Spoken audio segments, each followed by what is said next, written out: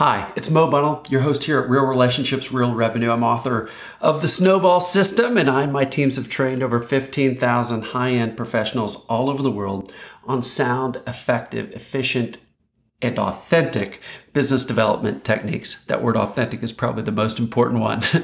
and what I'm going to bring to you today is an interview with David Burkus. Now, David Burkus is an organizational psychologist, he's a former professor. He has written several best selling books, and we're really going to dig into his latest. It's called Leading from Anywhere. And boy, is that topic important over the next decade or so. Our virtual world is going to force us to lead not only our internal teams, and that's what most of the book is written about from that perspective, but also lead our external client relationships, our relationships with prospects, clients, and, and all the partners in our ecosystem.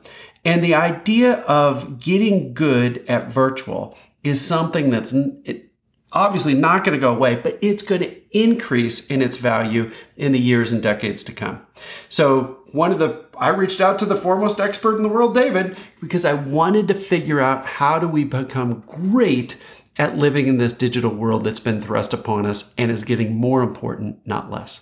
In this first episode, I'm going to ask David a question, a big one. What big idea does he have when it comes to leading from anywhere? What big idea does he have that'll help us grow our book of business, grow our relationships, and grow our career when we're doing those first two. But before we get to that, know that if you want our great content delivered to you at no charge every single week, head over to growbigplaybook.com. Growbigplaybook.com. Not only will you get an instant download you can read in like eight minutes that has the eight beliefs you need to hardwire in your brain around growth to be successful, but you'll also get a weekly newsletter that delivers our latest thinking on business development dropped right in your inbox at no charge. So if you want that, which is pretty good. You should want it. Go to growbigplaybook.com. All right. This interview was a hoot to record. David is a absolutely he's that blend of wickedly smart but also really really funny and we just had a blast in this episode in the ones to come so without further ado here's david burkus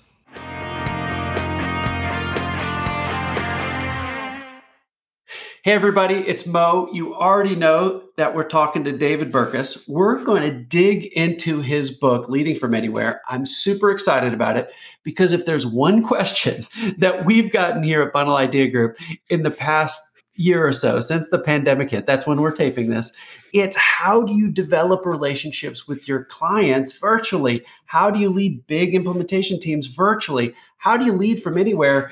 Both internally, which is obviously important to rainmakers and big client developers, but we can apply those same principles externally and they're going to work like a charm. David, I know our audience is absolutely going to dig into this series of, of episodes we're going to tape with you. So here's your first question.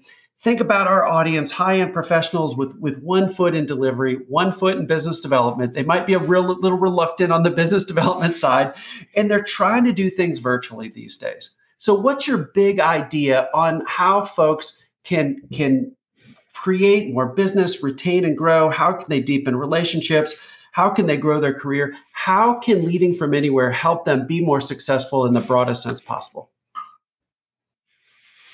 Yeah, well, I, I think the big idea here is a recognition that the future of work is working from anywhere, right? This isn't a temporary issue. Remember when we thought it was? We thought that it was 14 days to slow the spread or 15 days. We'll be we'll be back in the office in two weeks. And then here we are a year later. And, and the truth is that we're not all going back to the office. Even before the pandemic, uh, the, the, the research from Gallup showed that people were most engaged when they were 40 to 60 percent of the time out of the office. So if we're thinking about the implications for just about anything, it means that we need greater flexibility and an increase in trust and autonomy with the people that we collaborate with. That means internally, but that also means with our clients. We don't have the in person meetings where we can smooth things out, right? We don't have that ability to take as many nonverbal cues as working in person together as we used to. So we need to get much more deliberate about our communication. Uh, communication is actually more important in a remote environment, not less so. And I think we also need to be much more empathetic to the situation people are dealing with. You know, we have a tendency to think that no, that no news is bad news, right? Because presence equals productivity. If my people are around me, they're working. If a client is quick to respond or a potential client is quick to respond, that means they're hot. That means they're interested. Like no, right? It, it, may actually mean they have nothing else to do, right? And that's especially true in today's environment that we need to be much more clear, much more deliberate about how we communicate, much more empathetic. And truthfully, one of the first things we need to be doing, even with prospective clients, is talking about how we're going to work together if we work together because getting that with deliberate intention about what the future of our relationship looks like that's never been more important we don't have time to figure it out on the back end let's talk about it now in this virtual environment where we're not seeing each other all the time, where we're not responding to each other all the time, how are we going to work together? That's part of the the process of really closing the deal at this point is here's what working together looks like with us. Oh, David, this is so good. I can't tell you how many calls I and our teams have been on where we're teaching how to do some of this stuff. Like like 5% I think of what's in the book. And one of the like simple things is get your clients on video. Like so you can see them. So many of our clients were resistant at first like, "Oh, Zoom fatigue, you know, we don't want to get them on video, we want to ask to have them on video."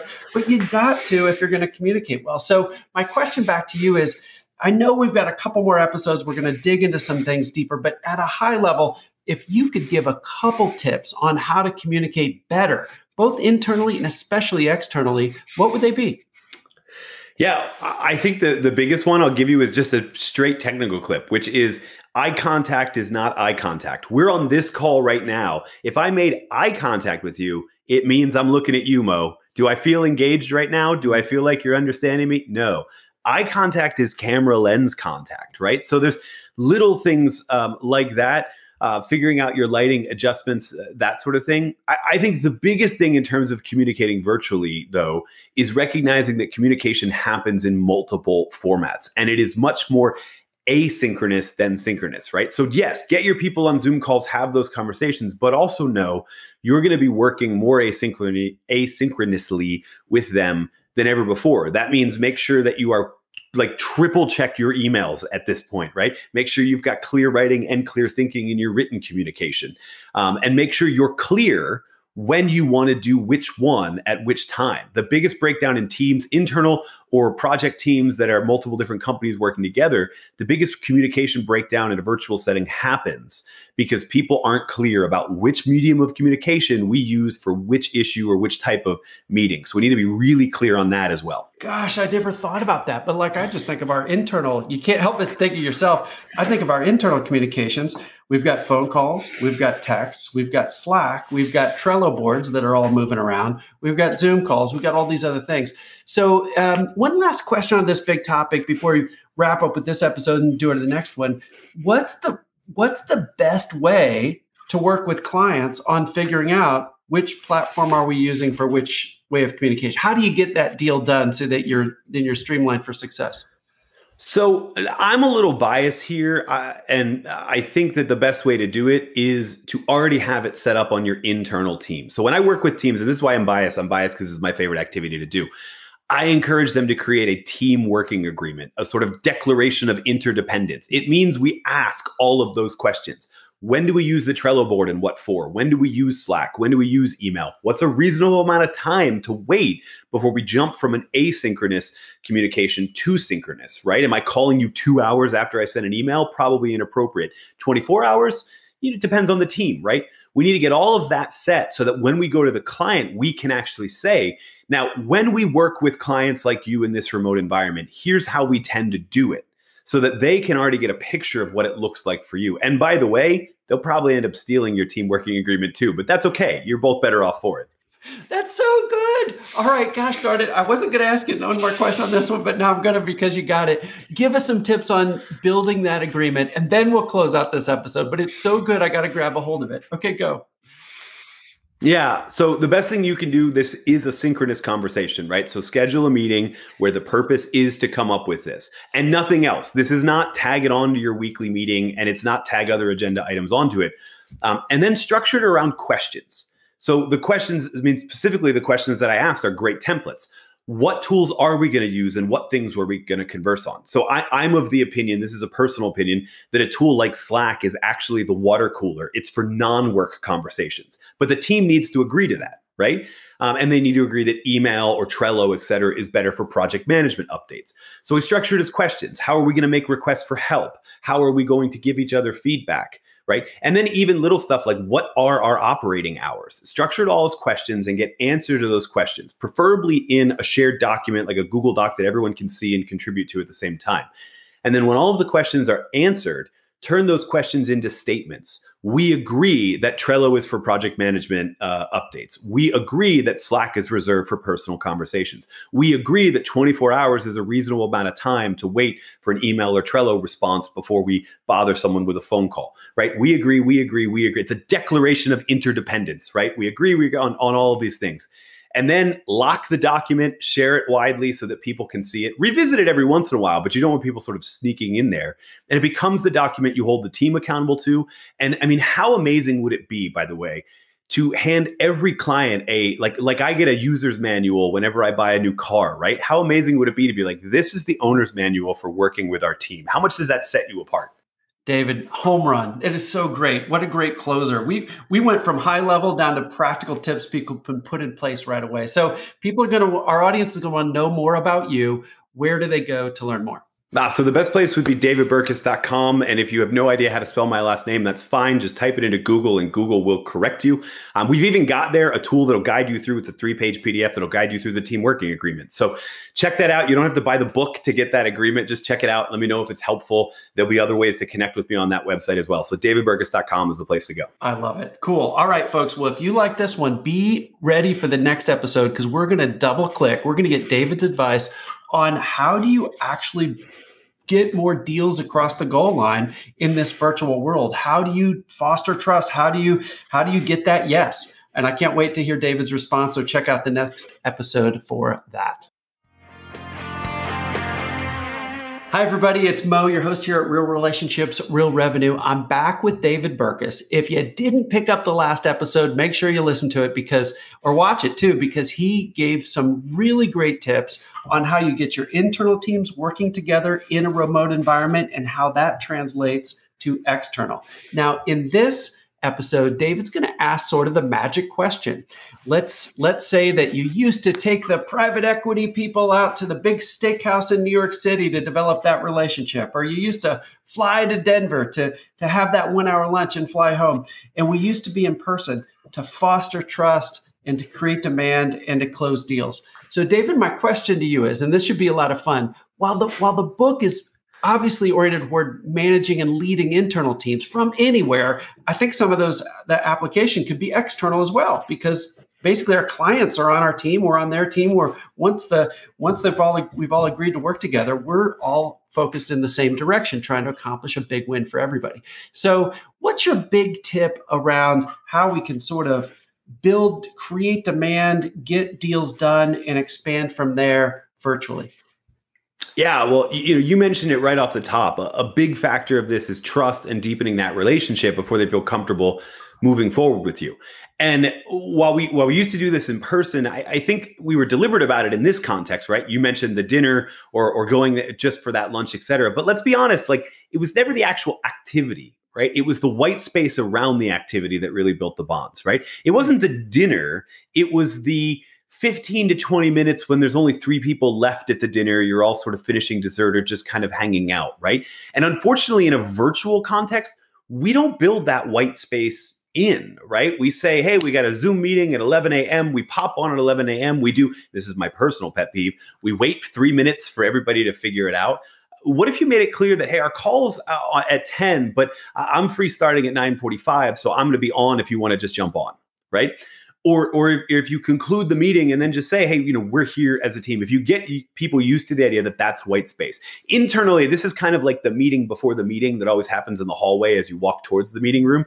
Um, but it, it's the same deal when working with clients or prospective clients. You you build trust and you build bonds in that open space that used to happen because you were physically occupying the same space Well, now we need ways to sort of replicate that, right? I mean, and you saw people try and do this in the beginning in ways that didn't necessarily work. The Zoom happy hours that we all got hung over from, right? And just had way too many of and ended up with Zoom fatigue because it's never actually about what you're doing. It's about the white space in what you're doing, that unstructured time where you find what uh, what Adam Grant would call uncommon commonalities, right? Things that you and each other share that are unique. And if you don't plan for that time, it doesn't happen in a virtual environment. So so plan for that time. So build it in. Build that habit of letting people know. Oh yeah, we're, we're it's our policy to always be on uh, five or ten minutes early. So you got nothing to do, jump on and we'll just talk, right? And then worst case scenario if they if the client never does then you still have white space time with your team because two or three people from the team all jumped on at the same time right? So it works in a variety of cases. That that zoom call that's just one trick right? But there's a lot to think about what were the white space moments that built real relationships that I was doing in in person and then how can I deliberately put those back virtually so that I'm creating that same unstructured time to have the non-work conversations that make it more likely we're going to work together. I like that a lot, David. Um, let me let me give you a specific scenario. This is fun because we didn't prep for this, so I'll throw you a curveball. Although I think you're going to like the curveball; it doesn't break very much.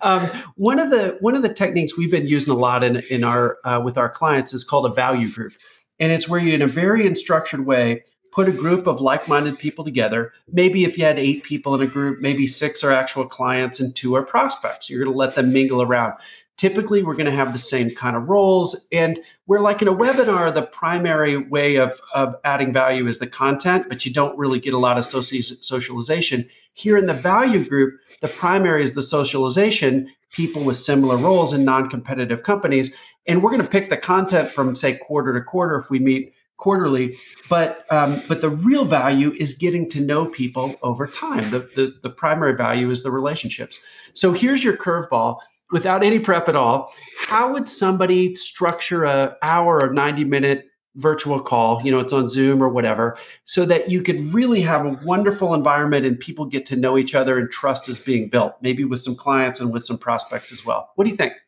Yeah. So I would focus that conversation. I mean, I would be very deliberate about the questions. Like you're, like you said, it's not about the content delivery in this type of model. It's giving space for people to ask questions and get answers. Specifically, when I'm structuring the questions, though, I would look to by the end of that 90 minutes to have people feeling safe enough to share problems and hear solutions from their peers. You know, the interesting thing about a meeting like this is even if I come in as a prospect and I ask a question and one of your clients has a solution, I still associate receiving that solution with you right? And even though I follow up with that person, I build a relationship, you're still the person that brought the value to me. So you're still who I assume to be true. So that would be what I would doing. I'm structuring early. Uh, the questions are around getting us to know each other, but I want to get to the point where I'm giving everyone who's in that meeting the opportunity to share a problem that they're facing and let the other people in the group kind of give them suggestions or help probe that or solve it for them.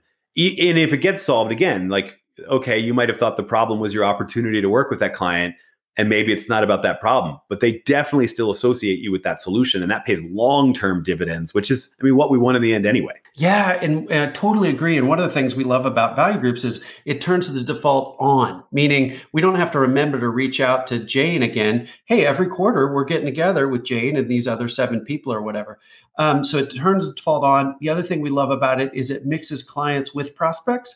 So it's a great, it's almost like a built-in reference check when they all get together and start bonding. So my, my question is, and, and I was dying, I was hoping you'd go there, but I get to ask the questions here. So I get to steer it where I wanted.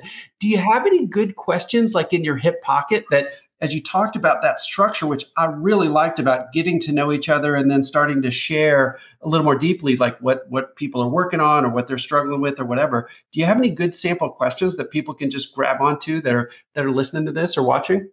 Yeah. So my my favorite question because it's innocent. It doesn't say, "Oh, you know, what's your problem?" Right? Which is a fairly aggressive question. Um, it's innocent, but it provides the transition from a light conversation to deep conversation. I actually stole it from uh, a good friend of mine, Jason Gaignard. He stole it from somebody else, but it's a question that I'm part of a, a professional group, and we ask this question of each other all the time. And the question, it's the champagne question. If you and I are at a restaurant a year from now and we're popping open a bottle of champagne, what are we toasting to? Right? What in your life, in your career, in your business, whatever it is, are we celebrating a year from now? And the reason I like that question is you can answer it in a couple different ways, but every way that you answer it presents a problem, the problem of getting to that moment, right? So it opens up that conversation because the very next question, of course, is great. You know, what's your plan? How are you working on that now? And you can use that to find those things. So it's become my favorite question. If you and I met met again together a year from now with a bottle of champagne, what are we celebrating? I love that question. And somebody could lightly ask that question to somebody they're getting to know that they they met at some virtual conference and in a group and now they're one on one and but but they're potentially a client of ours. So you're starting to steer the conversation a little bit in this real positive way for us working together out in the future. But what what would have happened? Um, and of course, we probably would, to your point, wouldn't blurt that out right out of the gate. But it's but it's a really good one to transition transition from uh, the light to the actual meaningful, more commercial relationship. David, this has been awesome. If you people are going to want to know want more about you, they're going to want to dig deeper. Where should they go? Uh, so that the absolute best place would be davidburkus.com. It's my website. It's a weird last name. Uh, I'm also the only one with any web presence among the David Burkuses of the world. So if you type it in wrong into Google, you'll still find me, which is great. Um, and we've got actually we've got a resource on that website, not about questions around problems, but it's a great socialization guide. It's called Eight Questions to Ask Other Than What Do You Do? and it's just a great way to kick off a relationship with some a way better question than just what do you do because let's be honest most people don't even want to answer that question if 80% of people are unengaged from their job then 80% of people don't want to be asked what do they want to do they want to be asked a better question like the champagne one we were talking about I love it. And then you've given a resource. So everybody go to davidburkus.com. David, I was uh, I was laughing because the way you said you you've become the most famous of the David Burkuses. I think I've definitely become the most famous of the Mo Bunnells. So like two of us, we've we've hit it. We've hit our we've hit the high water mark. I think so. Thanks for being on the show. This has been awesome, folks. If you didn't catch David's episode from from that we issued yesterday, episode yes published yesterday about the big idea on how we can use his his uh, lead from anywhere process to really take control of our career and and grab our growth go back and watch and listen to that one and be careful to make sure that you listen to this next and watch this next episode because i'm going to ask david what do we use from all of his toolkit in leading from everywhere to deepen relationships Hey, everybody, it's Mo, your host here at Real Relationships, Real Revenue. If you didn't catch them, go back and listen to the prior two episodes where I asked David Burkus some secret questions that I'm not going to tell you now that were really good, and you're going to learn a lot from them. But today, I want to dig into one thing. And David, this is this is maybe the thing that's popped up more than any other question over the past year or so of our client base. And it's real simple. How do I develop and deepen relationships when everything is virtual? So, can you use the content and leading from everywhere and help us answer that question? Because I know people are on the edge of their seat. They want to know the secret sauce that you've got in your brain. Yeah, yeah. So you're you're exactly right. This is a real problem. I, mean, I was reading a study. It, it, obviously couldn't make it into leading from anywhere. It was I was reading it because uh, it was published a week ago, but it was looking at the first half of 2020, looking at people's um, networks, judging the size of somebody's networks and relationships, and it found that from January to June, the average person's network shrunk by 25 to 30 percent. Right. Uh, but here's what I think is interesting that that decrease was almost entirely driven by males and this is a hasty generalization i realize uh, gender is much more diverse than just this but um, because it, on average men tend to bond and build relationships around activities women tend to do it around conversations and there are no activities to participate in when the world is locked down right? So we saw almost all of the reduction in relationships on that one side, that activity driven side, not necessarily the conversation side. And, and, you saw this too, I bet, because you saw in early April or May, people tried to create these sort of virtual activities to join together in, right? Everything from like, let's all take a group cooking class to let's just have a cocktails hour on Zoom. And like, I'll be honest, nothing is more depressing than drinking alone by yourself with a screen full, like a Brady Bunch square of people that you can't be in person, right? So we, all got a little too hungover from Zoom happy hours, and it wasn't because right, it wasn't a sort of a real um, activity, right? And so when you're looking to use a tool like Zoom to connect and deepen that relationship, um, it takes a lot more structure. It takes a lot more intentionality than just we're going to plan this activity and it's all going to work out. It takes a level of conversation that people who are skilled at having a deeper conversation have. So that means show up with specific questions that you can ask to deepen the relationship. There's a couple different ways you can do this. All of them work really, really well. Uh, on internal teams, we run things like uh, what we call fika, which is the Swedish word for to have coffee. It's just it's just getting together to have a, a coffee time with somebody. But the whole point of it is to get to know your coworker in a non-work environment. So the whole point of the conversation is not work related. It's not not you know it, it's it's much more broad than that. We're looking to build those bonds. There's also the idea of work sprints, which is time where you pair together with people and do work, you just do it alone together, right? So I actually couldn't have written my book without this. Every day, every weekday at 11 a.m., I had a work sprint appointment set with two other writer friends of mine who were working on books.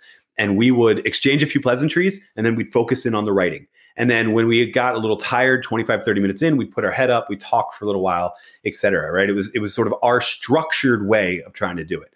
The, interesting thing about virtual work is it doesn't make relationships unimportant. It makes them more important, but it takes much more deliberateness to structure those things. And I've talked about activities here, but there's other stuff too. Like, what are the little rituals that you are, are going to develop on your team, right? We all have those little rituals. Could be like a Monday's high five thing, it could be an inside joke. Um, I've seen other deeper rituals uh, on teams. And the ones that uh, are sort of most meaningful in a in a Zoom environment are the ones that that can obviously translate into that. So I've seen rituals. My favorite one, actually, I'll just tell you. I'll just jump right to it. My favorite ritual for a team of people is that instead of using the uh, the applause or emojis or stuff that's built into web conferencing, they decided whenever somebody has a good point, they're going to use silent clapping, right? From sign language, from American Sign Language or British Sign Language as their sort of tool, which is funny because then they're working with clients and they're in this meeting and there's three or four people from the client side four three or four people from the somebody makes a good point and the whole screen's filled with this and the client's like what what's what's that all about? Then you explain it to them. Now they're in on the ritual so they're part of the in group right? Um, we used to when we were when we were in person we used to develop these rituals just sort of organically. They just kind of happened. Well now we've just got to be a little bit more deliberate about it but it doesn't mean it can't happen right? So between structured conversations that actually explore non-work topics and build and deepen that relationship and physical things like rituals, we can go pretty far in building and deepening relationships in a virtual environment. What we can't do is just rely on being in the same space together to build it for us, like all of the people on the activity based network side were doing forever and then found themselves out of practice. It takes structure, it takes deliberation, it takes a plan. But you know, now at least I hope this interview has provided a little bit of that plan that you can go as a jumping off point to figure out how can I have more of these conversations? What are our team rituals or even our client side rituals, right? What are the things we're going to build that are meaningful and let people feel like they're in this in group with us that create that? I was giving you a high five for people that so if I love it. Listening, obviously, there's some people. Some people watch and some people listen. So if you're listening, you couldn't see me waving my hands with the silent high five, but I was or the applause, but I was doing it. David, I really like that. We had a we had a client that. Um, for their standing ovation, they all go like this and put a big O over their head oh, with their arms. So for folks I like who can't it. see, I'm just creating a big O with my arms, and but you could really visibly see it on the big, even on the big Zoom board, because you know you're doing your whole body like that um, in college, that was a our, our, fraternity called that a black hole, and that beat either anything of rock, scissors, or paper. But you only got one black hole for your lifetime, so nobody ever did it. so, qu- follow up question back. Um, I'm really keen on these questions. You know, in one of the past episodes, everybody go back and watch them uh, David gave us a really great question to start to foster relationships and, and transition for the sort of the open-ended get to know you to a little bit more of a sharing struggles and, and starting to think about commercial things. So David, on these on these structured calls, intentionality, I love the word you use there around really thinking about how we can bond a little bit more in a virtual environment. What are some of those questions that you'd recommend people ask each other and answer? Yeah. So I, I think uh, candidly, the question itself doesn't matter as much as having a plan, right? Um, because if you're just getting in there and you're relying on we're going to feel each other out, et cetera, you're not going to ask those deeper questions. The point of the questions, though, is to ask questions that can be answered in a work or a non-work context. So instead of saying stuff like "What do you do?" or, or you know, "What's your job function?" I'll say things like, "You know, what are you looking forward to?" or um, "What are you most excited about right now?" "What are you most uh, thankful for right now? I can answer that about work, or I can answer that about uh, anything. I can say, yeah, Tom Brady just won his seventh Super Bowl. That's pretty cool. And now you know that I follow football. You know, some I self disclosed some other personal piece. Truthfully, my favorite question, because I'm a bit of a nerd, is when I feel that I'm in a place in the conversation where I can safely ask this, I will ask people, who's your favorite superhero? And here's why it has nothing to do with the superhero. Everyone has one, or they hate superheroes, but that elicits a cool story too. Um, and everyone has a reason why. So, you know, my favorite superhero, for example, is Batman. Um, what I like about Batman is that he's not super right? He's someone with uh, immense wealth and a sense of responsibility. I think those two things should almost always go together. Um, he's someone who's focused on making the world a better place. So he's developed himself personally through martial arts and the discipline of it, right? Um, but I like that idea that he's he's relatable because he's not super, but he is someone who feels driven by a cause, etc. Right. And now anybody else who is Batman can bond and I guess technically anybody who has Iron Man can bond too, because really they're the same character. They're just in two different franchises, right? Um, but everybody has that story, whether it's Wonder Woman, if it's Green Lantern, or, or again, they have um, they they say no one. I never really got into superheroes, and I can go great. Well, well, you know what what was your thing when you were a kid? right? And we can still ask that question and find out a bit about that history. Now, that's not one I'll throw out right off the bat. I'll usually start with a question like, What are you looking forward to? or What are you really grateful for right now? Because again, that can be answered work related should they choose. But as we get further, I'll bust out some of those questions that encourage people to dive into their childhood or at least something uh, older than a decade about their history and it creates this beautiful jumping off point and learning more about them. And the more I know about them, the more I have reasons to follow up with them, the more things I have to discuss with them, the more likely I'm I am to find something we have in common. Um, but even if it's just little stuff, right? Like Mo, now you know that I like Batman. So when the new Batman movie finally comes out at the end of this year, you know you can send me an email, go, hey, did you see this new trailer? Even if that's just a reason to ping a prospective client you haven't talked to in six months it still goes way further than just hey i wanted to check in on you see if you had any you know whatever right? Those little personal details go so much further. Oh yeah. Well and back to our mutual friend adam grant's uncommon commonality. I mean you can't see it up in the corner i don't think but all the graphic novels that are up there. And i was thinking like I think I would choose somebody on the Justice League or, or on the uh, uh, Legion of Superheroes, almost because I like eclectic things but like Cosmic Boy or um, Element Lad. I don't know if you know the Legion of Superheroes, but a little more obscure DC comic that I always liked when I was a kid. And uh, anyway, we would if if we weren't doing a podcast, I would ask you more about Batman, and I would tell you about Element Lad. Right so it totally works. I could just actually oh, feel it. myself in it. So yeah, love that. Right. Question. No, and at the David, and at the I was just going to say, and at the very least, we bonded over being in the DC franchise, which, despite the fact that their movies recently have been terrible, is still the better comic book franchise. I've flipped, man. I was DC up until like five or six years ago, and I just finally made the switch. I couldn't, I held on for a long time, David. I'm 53. I held on to my mid 40s, and I finally flipped to Marvel. Am I, am I an okay person? Am I all right? I mean, I'll, I'll forget. I'll give you a little absolution, Mo. But there's more than just the movies, right? So, yeah. I love it. Well, hey, David, this has been so fun. People are going to want to, you've dropped so much knowledge here. People are going to want to get more of that from you. Should, I'm guessing they might want to go to davidburkus.com. Can you can you validate that? Is that the right place to go? That that's that's the right place to go. It's an easy place to go. There are no there are no bat. Actually, there is a Batman reference on the website, so there you go.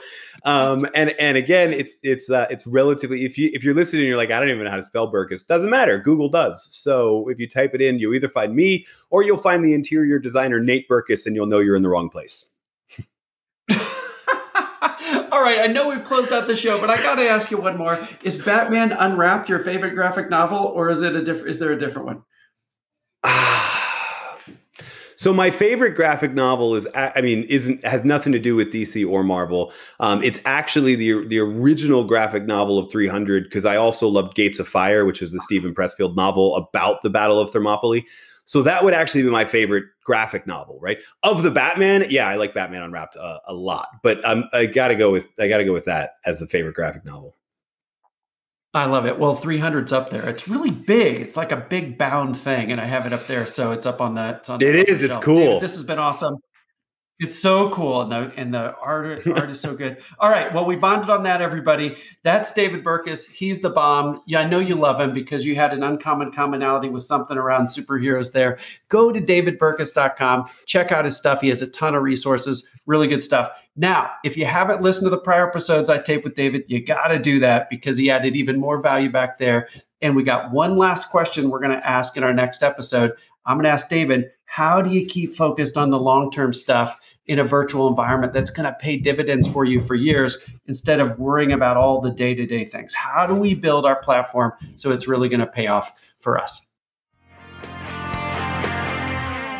Hey, everybody, it's Mo Bunnell, your host here at Real Relationships, Real Revenue. And this is my fourth episode that I've been taping. And I got to tell you, having a blast with David Burkus. We've covered everything from how to get our Zoom set up right to the best questions to ask early and later stage of relationships to even our favorite graphic novels. I mean, this is really, really great content. And my last question for David is it's so easy for us as busy professionals to just keep focusing on the day to day, to keep focus on the emails that come in. His book, Leading for Everywhere, has a really top down approach when it comes to leading big teams, both internally and externally, in a virtual world. So, David, my question is how can we keep focused on the long game? How can we keep focused on doing the right things to build our platform, to build our relationships when we're being distracted all the time in this virtual world? All right, I can't wait to see what you answer. Go for it. yeah, so my answer is a little counterintuitive, and it's don't. Right, the short the short term matters, but here's why right? There's actually a ton of research about human motivation and how it relates to timelines. And when a timeline, when a deadline, or when a long game type thing is too far out there, we have a tendency to think it's more difficult than it really is and a tendency to procrastinate because of it. I mean, to be honest with you, this is everything from health to retirement accounts to all of that stuff we know. The long game is too far out there. And so we're not necessarily motivated. It seems too difficult, right? So we're not necessarily motivated to do the short stuff.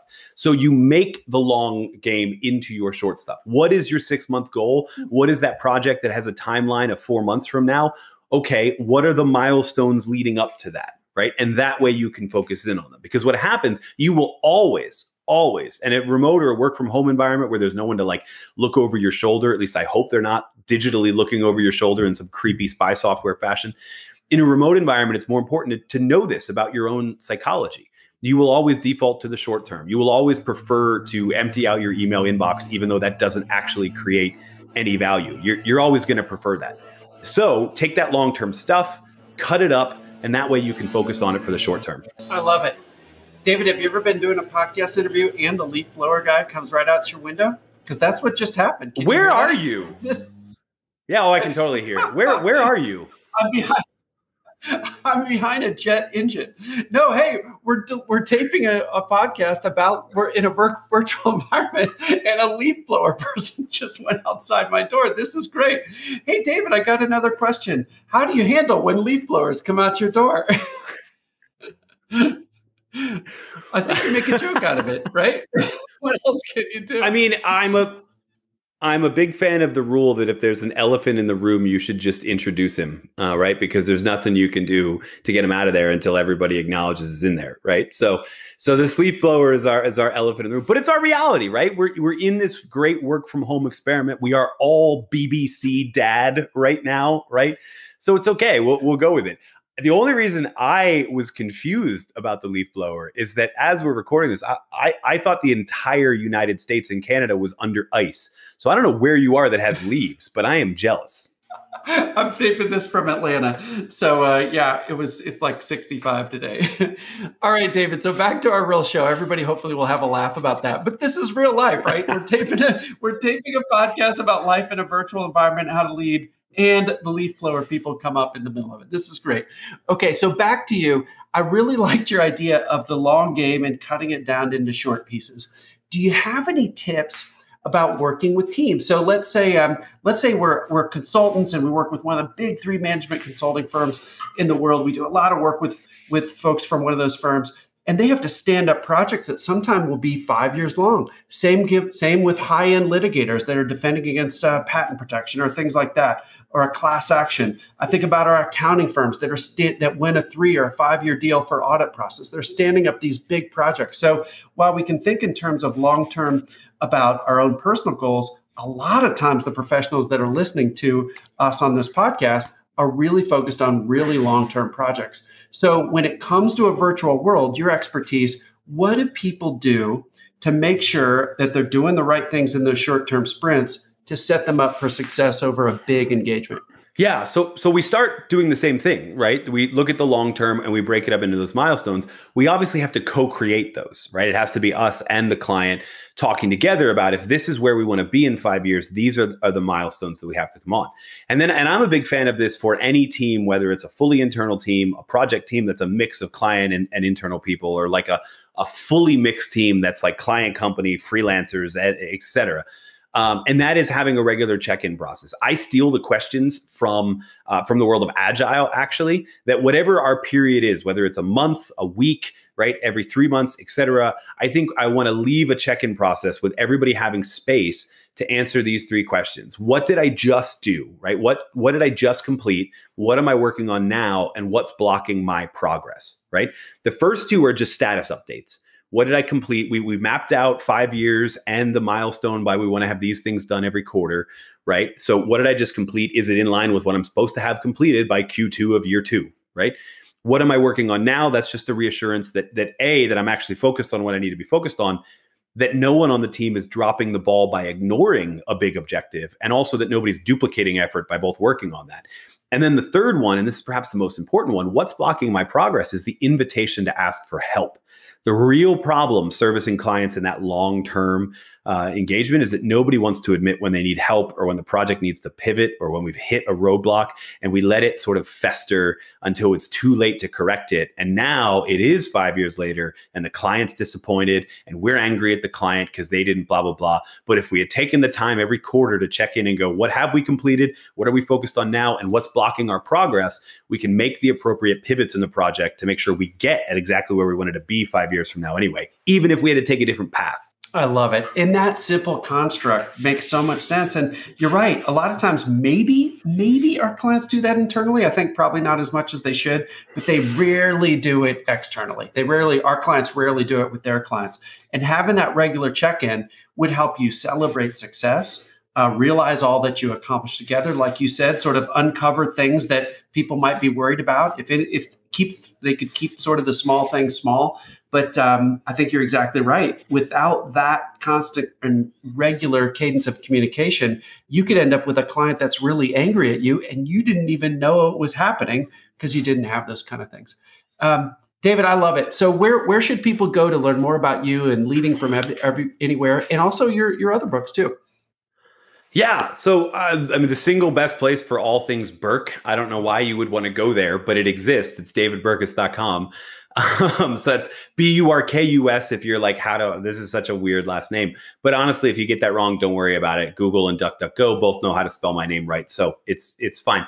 Um, but there's a ton there about the different books. There's a lot of different resources and then ways to connect on social and keep these conversations going and and truthfully i hope you do that if you're listening to this if you listen to all four episodes right and you want to keep the conversation going reach out to me on one of those platforms because eh, we're not all going back to the office at least not all of us and not all of the time so how do we exist in this remote work this work from anywhere world that's a conversation that's going to be going on for a long time so let's let's keep engaging on it Oh, I love it. Well, I was so happy that you could join us on the show. I've absolutely had a blast, not only just technically learning from you, but just having a good time. You got such a great personality, and we laughed about several different things. So, folks, if you want to hear some laughter and learn something, make sure you listen to the prior episodes that we taped. And the next one, what I'm going to do is synthesize all that I learned from David on these on these very poorly written notes, but I'm going to synthesize it because I wrote down two pages of stuff and I'm going to pick the top three things that I learned from David that I think you ought to pay attention to too.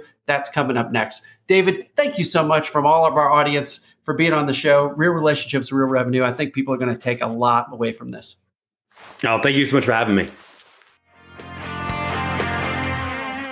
Hi, this is Mo Bunnell, your host here at Real Relationships, Real Revenue. I'm uh, author of the award winning book, The Snowball System, and I and my teams have trained over 15,000 people all over the world, high end experts, professionals on sound, effective, efficient, and authentic business development techniques. I absolutely love teaching business development techniques because I know it's about crafting a vision for somebody's future that may they might not even know you yet, but crafting a vision and moving people to an experience where they're going to be better off because they've met you before. That's what business development is. So, in the last four episodes, I talked with another expert David Burkus, he's an organizational psychologist, some of probably my favorite discipline when it comes to PhDs. He's an organizational psychologist. He's gone off on his own, started his own organization. He's got several best-selling and award-winning books. And his latest book is so timely, I had to find him and have him on the show. The book's called Leading from Anywhere, and it's all about how do we establish relationships more strongly in a virtual world and how do we foster them and how do we take them to new heights using all the different technology that we've got to do so. And that skill, which is it's a complex skill and, it can be learned, any complex skill can be learned. That skill is not just important now, the, the day this is released, but it's going to be more and more important going forward because this virtual world and the way that we work together all over the world in new ways digitally is going to be more important going forward than it even is at any given day. So to tap into David's big brain and learn what we can from him and his content and leading from anywhere, really important and really applicable to business development. Now, before we get into this episode where I share the top three things that I enjoyed learning from David, I want to let you know about the Grow Big Playbook. The Grow Big Playbook is a place you can go. You go to growbigplaybook.com and you can download an instant download. You can read it in about eight minutes, and it's got the eight beliefs you need to have in your head to become great at growth. So head over to Grow Big Playbook for that, and then you'll be signed up for our weekly newsletter. That's where we share our complimentary courses, our best of the best podcast episodes, our learning library, and links to it, where all of this stuff is no charge. We give it away, but you got to go over to the Grow Big Playbook and sign up there at growbigplaybook.com to get it. So go to growbigplaybook.com. All right, I hit you over the head pretty hard with that, so we won't mention that again. All right, here's what I learned from from David. Boy, I the, the most poignant thing, I learned three big things, but the most poignant thing is we've got to have sort of an agreement with our internal teams and our clients, sort of our, I think he called it a, a internal team working agreement, like how, how we're going to work together in the world that we're in. That might be all digital or part digital and in person or all in person. Whatever our world is, to have an agreement on which methods, which communication platforms do we use at different times and for what, and to really know what each thing is for and agree to that. And he walked us through in a prior episode exactly how to do it. So go back and listen to his color, but the super quick answer is you set out with questions what do we do? When this happens what do you do? When that happens? And then you turn that into agreements. I agree that we will do this. I agree with we will do that. The, the i agrees end up talking about how how often you check in what platform do you use? Is it email phone call zoom slack microsoft teams? You know we've all got so many text message. We've all got so many things and and how we do that all efficiently and how long you wait for a response on different platforms basically you're getting into agreement with your team about how you communicate where so there's no confusion. It's brilliant. And then the, the next level he took it, which of course applies to all of our stuff, is having an agreement like that that you work with as a team. His idea, I'll finish with this, his idea of working out internally first and then sharing it with your client team and say, hey, here's how we work together internally. What do you think? well, his advice is good. Your client's probably going to go, we need that. So now they're getting extra value. And it prompts the question, how do we work together collectively and, and more efficiently? So you'll develop your own with the client or just tweak what you've already got for your internal team. So I thought that was really cool. I've never thought about that. We've at our organization at Big Bunnell Idea Group, we've had general conversations about we'll use Voxer for this and Slack for that, and but we haven't really built that across the entire team. And I can definitely see the value in doing that. And then the part with your clients makes total, total, total sense.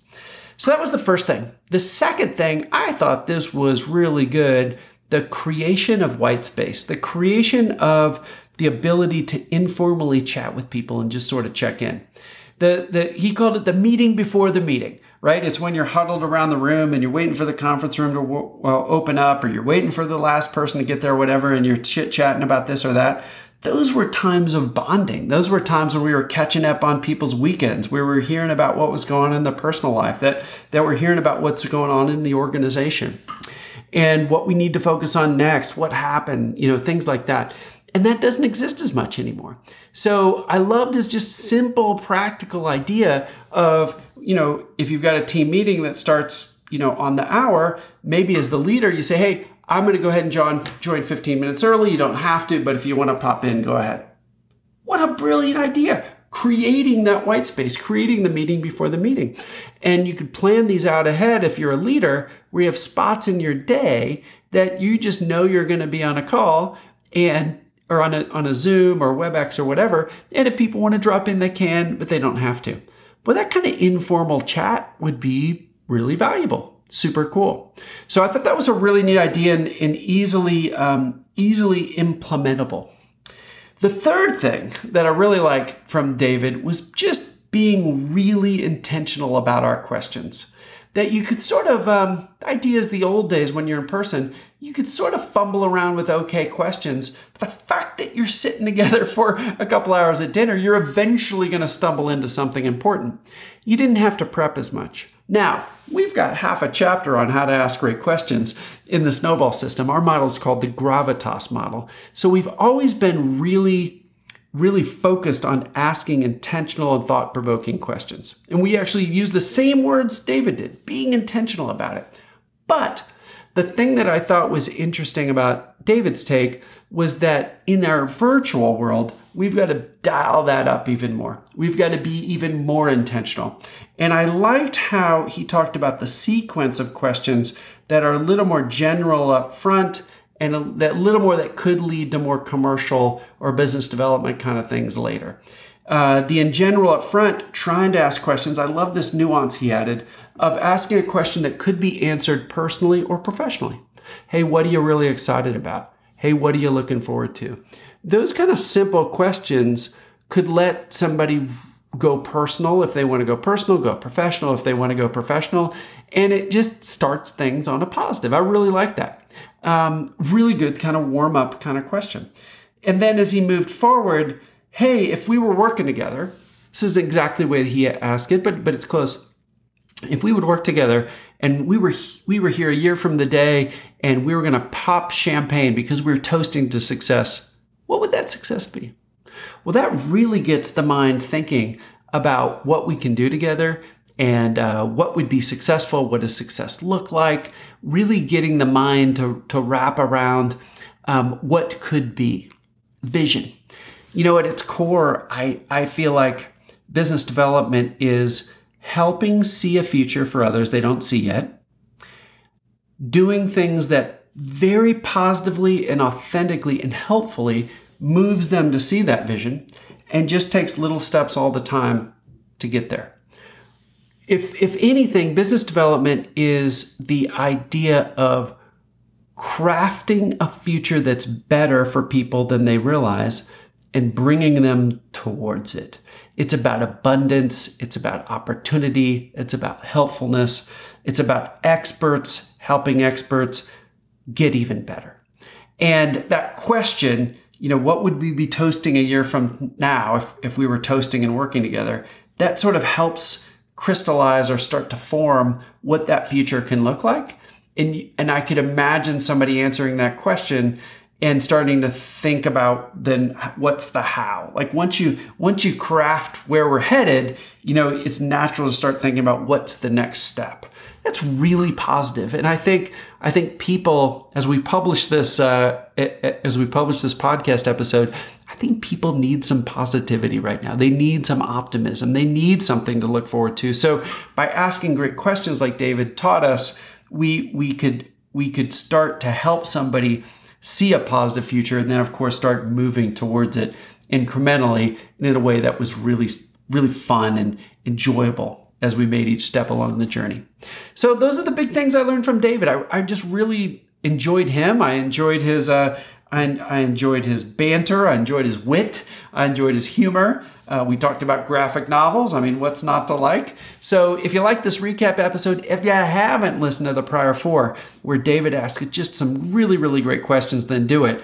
But, but, but I really like those big three. You know, that team working agreement, getting the white space, and, and figuring out pre pre planning that, finding time to make those informal connections, those water cooler connections, if you will, and then then that last one being super intentional about our our questions that we're going to ask and by the way if you want more on that you know i think it's in chapter 7 of the snowball system that has a whole half chapter on how to ask great questions but i like david's specifics he had a couple couple that i hadn't heard quite in that way that was pretty neat all right, folks, that's the end of this episode. I hope you enjoyed it. This has been a blast. This season is so fun taping all these episodes with all these amazing people, and David was definitely one of those. So if you haven't yet, go over to davidburkus.com, check out those free resources he told us about, because I was just poking around on the website a second ago, and they're really good. There's like over a dozen really great, no charge resources that you can download right away and I know they're going to help a lot of people that uh, that grab onto that. That's at davidburkus.com. All right, everybody, keep doing great work. Keep striving to grow that book of business, grow that relate, grow those relationships. Because if you do, you're going to grow your career.